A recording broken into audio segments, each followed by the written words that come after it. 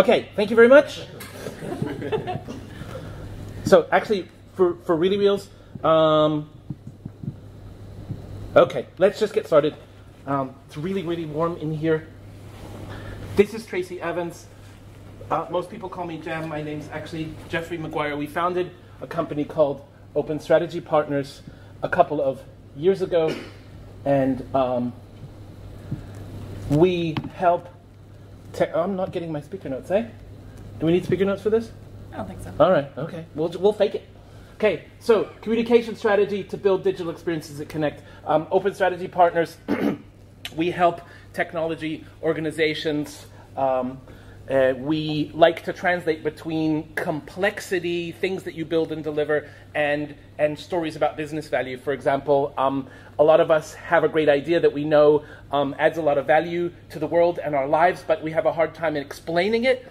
That's the sort of thing that we do. And um, we have a deep background in open source, so um, we can come in and have uh, higher value conversations with you about your technologies than other agencies who can also choose nice words and make pretty pictures. Um, Tracy has a really deep background in business and is a hotshot MBA. She's the smart one.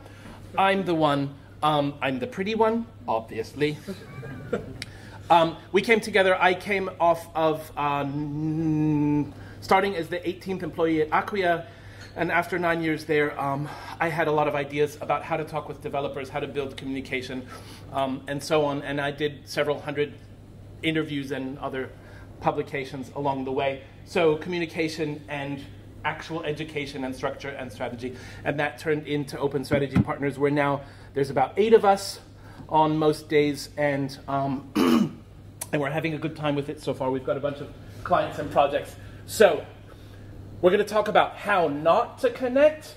Um, we're going to talk about a thing that we call authentic communication. We're going to talk about our strategic communication foundation and how you can use that as a tool set, um, some specific things uh, within that, and then how that turns into a better way to connect. Because we only have a couple more minutes, um, we're going to skip all the details. We're going to talk fast. Anybody who has any questions, we're super happy to hang out in the hallway afterwards. Um, we are going to be at the Splash Awards tonight. We're going to be at the karaoke party tomorrow, and we're going to be here all week anyway. So just just find us, okay? And we'd love to talk. It's openstrategypartners.com, obviously. So how not to connect? Who in this room is a developer? Right? So a great communication strategy does not start by choosing your version of Drupal and how you're going to set up the configuration and is it going to be headless and what modules you're going to use, right? Feels obvious, but like that's what we actually care about, right? you know, now I get to use this thing or I get to build a new thing, right? Mm, but the web's a communication medium and we really have to think about some other things. It also doesn't start like this, right? Which is the stuff that some other of us really, really love. Um, so, Open Strategy Partners is definitely not about marketing bullshit bingo. Um, so, if it's not the technical stuff and it's not this marketing stuff, what is it when you're thinking about um, building a communication strategy? It is a, it is, um, we think that you need to communicate the right stories, the right information about what you do, what you build, to the people who need to know it and connect with them so that you can grow.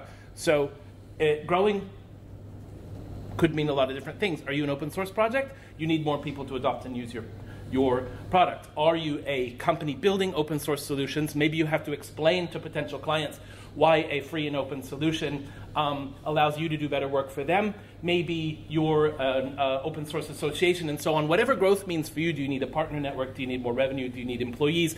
There are different stories that you're going to tell about what you do to get there. And one of the things that uh, I brought to the company that we've developed a lot since then is what we call the authentic communication framework. And we talk about communicating with empathy, clarity, and trust. And when you use these and do these, um, they build on each other, and it becomes a very virtuous circle. So, talking with empathy, um, it comes, all, uh, comes up a lot in society now, a lot in sort of new models of corporate government, governance and management and so on. But um, essentially, there are uh, when, when on a practical level, when we're talking about building communication about what you do, okay, how many of you were developers in the room? How many of you have a business background? Tracy, put your hand up. Yeah, right. So you people, and you especially, Tracy, right? You get really excited about market analysis and target audiences and, and, and segmentation. I hate that word. segmentation and clustering, even, even worse, right? But that's really amazing, exciting stuff. Now, developers, developers, how do you feel about this stuff? Uh, huh? Uh-huh. Is it a, a solid? Uh, right? But as open source practitioners, we, most of us, uh, we really care about what we do, right? And a lot of us come from really idealistic backgrounds, and we're not just using technology for technology's sake, right? We want to make the world a better place. We have a vision that we want to realize. So, who in the room cares about solving a problem that other people need solved? Good, right? And people should know about that you're solving that problem, right? And you should probably know who else is solving that and how you're solving it better, right? So, communicating with empathy, these are exactly the same things the business um, personas and for the open source developer personas, right? So, when we, on a practical level, this, this empathy thing lets us choose different words and different paradigms for getting across the same story and for connecting, right, with whomever you need to connect with. when we talk about clarity, we talk about making things that are clear to read, but we also talk about using logic. We also talk about saying what we can't do right now, because honesty, what does honesty do? In, in our world, honesty also really, really helps build trust. So we make, we're very clear about who we are and what we do and what we can't do, and we produce it as well as we can as communications professionals. Um, and um, then we talk about trust, and we feel that once you start talking about trust, this thing starts to build on itself, right? So try not to use insider language that other people aren't going to understand. Try and be as simple as possible. Be technically accurate at all times, right?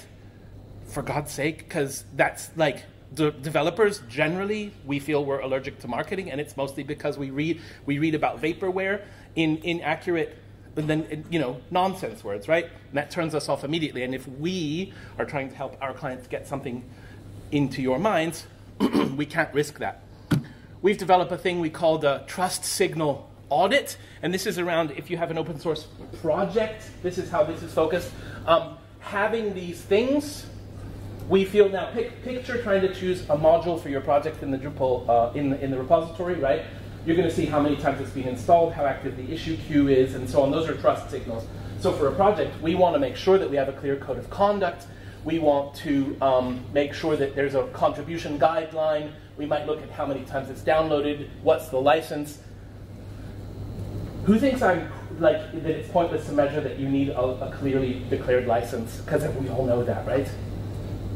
I consulted on a project that was five years old at the time and a 300 million euro investment from the European Union that had not declared its license. So all of the corporate contributors could take their code back it wasn't really open source. And it was a huge mistake, right? So, trust signals. Um, we think about these a lot. And this builds an ecosystem around your projects, around your products, and so on, um, that lets people trust what you're talking about in the rest of your communications. And of course, these are all communication exercises as well. At a strategic communications level, Tracy will now tell you about our framework. So, I guess everybody here in this room can appreciate the value of starting with a framework, right? Um, and we do the same with communication. And a lot of these topics should look familiar to you in, in planning uh, your communication. Um, one of the, and, and, and this framework is an important base to start from. So aligning all of your ideas and plans around mostly these topics um, are going to give you a solid foundation uh, to better connect with your audience. Um, most of these should look familiar. Um, I think a, a, piece that's unique to, to OSP is uh, the value map that I'm just going to tell you a little bit about. Um, essentially, the, the value map is an inventory or a, or a collection of all of the value statements, all of the features of a product. This value map helps us be more accurate because we we do some background work, we get into the details, we sort out what exactly, you know, what your product does, um, what it is, what it does, and the value that it delivers. And the way that we do that is by having this collection of value statements. And um, the value statements uh, result, this might be. So any given value statement for the data geeks uh, of that any given value statement is is actually a triplet of a feature and what we call an activity. We could also call it a method or a delivery mode or a lot of other things, but you have a feature and an activity and a benefit, right? So any given feature can feed up into one to n business benefits, right? Delivered by an activity. So once we so there's benefits in the center and activities around this pie and and that benefit and that activity are connected with any with any number of features in the middle there. So then every one of those triplets we produce a value statement which is a very compact dull, not well written statement about what it is, what it does, and what value it delivers. And as soon as we have that, you can see that we can turn that into a database, do map MapReduce functions on it to produce different things, and we can start to add layers about like whom we need to talk with, and if it's for a different persona, then we talk about it in a different way, and so on, right? And then a CMS has six or seven hundred of these. Um, middle complex um, design system tool that we're working with called Knapsack um, has about 150. Yeah. Yeah. So this is a. So we take these sort of atomic level features, um, put them into value statements, and then we organize them across different uh, feature areas, um, is what we call them. And so this uh, this image here might represent, um, you know, eight different feature areas of a of a given product. And uh, I think Jamar has already explained um, much, this yeah. idea of a value statement and what that is, and that it, we take essentially the atomic level feature, which is usually what the, the technical side uh, cares about. We connect it to the area or the activity um, that uh, where that brings its value, and then the benefit is the positive result, and that's usually where what the business people that that is usually the layer that helps translate the value of the technical feature into what that means for the business person. Right. So then there's a huge there's a huge um, like there's a huge picture here, and we'll just paint you a sketch, and then you. Uh, at the geek level, we care about the individual features and how things are put together and the smallest atomic units usually, but we have trouble connecting what we're doing to the story of the value that's being delivered and what the business person might want to spend money on, right? So with this mapped out, we can look at the features we're working on and start to understand what is what value we're delivering. And at the same time, we can create communication, you can create communication for the business persona saying you can get this and this from our product and be like, yeah, sure you can. How do you do that? And we could say, well, boom, boom, boom, and it's all documented, and it means your sales team is not spinning hot air, right? It means that you have something that's backed up by what, what your product is actually built as. The next step that we that we take the value statements and the and the value map is that we roll these up into uh, feature area positioning statements and then product level positioning statements. So we take these clusters and we collect them all into groups and we roll that up into a single a single a single statement um, about the product itself. And what this helps with is, you know, when you're when you're talking about the high level value of a product, it's no longer based on buzzwords or or or fluff. It's actually based on this concrete, detailed technical analysis of your product. right? And so your inside out communication and your outside in communication match, and they, they, they both make sense. And then what we do is roll these clusters up in and um, you know if you have several products across uh, your your product line, for example, the DDEV team and the DDEV local uh, might be might be one product, and DDEV Live is another uh, product. But then there's platform level features that you get out of using their entire tool chain, for Right. example. Um, and you take those and roll them up into the brand level positioning statement.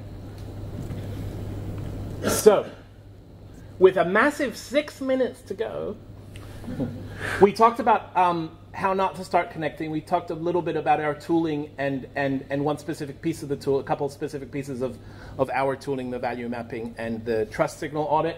Um, so now let's just talk really, really briefly about how to connect. Because the value map gives us statements of of, of functionality statements of benefits to deliver that we can back up that are factual, right? It gives us a huge repository to then, once we've done all the other marketing work of figure out who we're talking to, what they care about, how they're going to interact with, with, um, with us, right? We figured out how trustworthy the, the, the project looks. We can, we can look at strategic narratives, which are like evergreen stories that you want to tell over and over again about what reliability, about uh, return on investment, whatever it is for you. Um, and then we do the work of making plans and, and creating channels, uh, uh, creating assets and, and, uh, and um, getting them out into the world. And, um, but this lets us do it in a way that connects with people. Um, so using empathy, clarity, and trust, plus doing a lot of hard homework to really, really get the facts out, lets us put this all together to help people communicate, connect, and grow. Any questions? And we have time for questions. Yes? How, where, where, does my issue tracker fit in? Your issue tracker? Yeah. Is it a is it a is it a product? Is it a well? It's a trust signal. So if you're maintaining your we are creating or working on, yeah. Where do they fit into the map? Oh, that's definitely a trust signal, right? Because if I see how how how often you're working on what you're doing and that you're taking care of people's issues. Well, but if, if, an issue represents a feature because it starts out as a request and you write a test to it and you, you specify the feature, where does that fit into the component map that you had? Like, do you do you actually use issues generated and feature requests written in an issue tracker ah. to create your maps?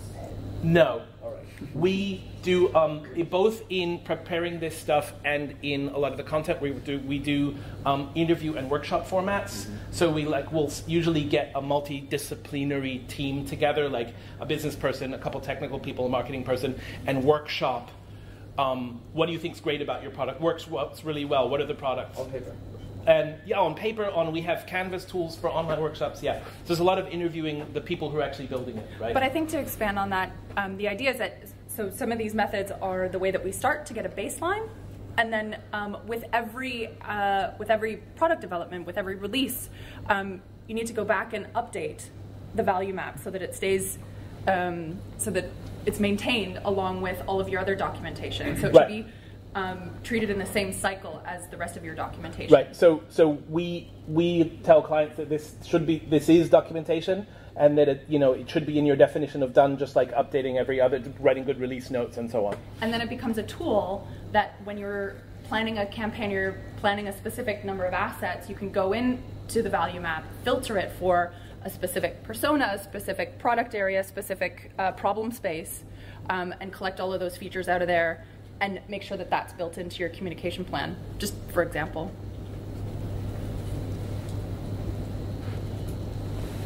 Uh, perhaps any practical examples of how the value map, uh, what kind of content goes in there, how, what degree of granularity, how specific or generic uh, do you want to be in each of those steps when building the value map? As specific as possible. Um, so it, it does need to be as granular as is practical. Um, and uh, the reason for that is um, you know, you might end up with a value map of a few hundred features that you'll never put in front of a client, you know, straight straight up. Here's, you know, overload them with uh, with information. But for anybody that's creating marketing materials for your company, whether that's an agency or your internal team, um, you need a single source of truth, and you need um, a, and you need to have agreed upon language.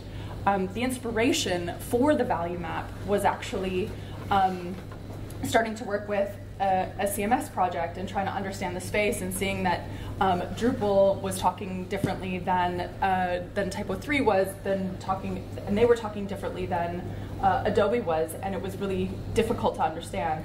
And so, and and seeing that, and even within an existing organization, I've had a lot of experience where.